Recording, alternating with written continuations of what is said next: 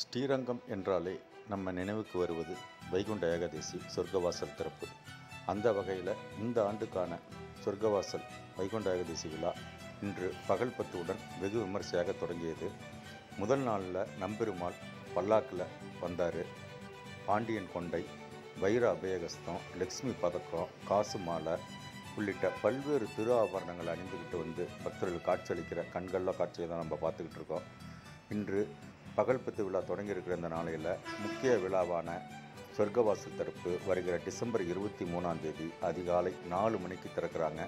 அதுவரையிலும் இருபது நாட்களும் விழா தொடர்ந்து நடைபெறும். அதற்கான முன்னேற்பாடுகள் கோயில் நிர்வாகத்தின் சார்பில் செய்யப்பட்டுள்ளது. தினந்தோறும் ஸ்ரீரங்கம் கோயிலில் நடைபெறும் விழாக்கினுடைய தொகுப்பை தொடர்ந்து காணலாம். வாங்க வீடியோ முழுவதும் பார்க்கலாம். ஓம் நமோ நாராயணா.